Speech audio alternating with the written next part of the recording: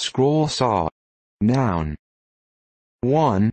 A fine-toothed fret saw with an oscillating blade that can be used to cut out curves and other complicated shapes accurately.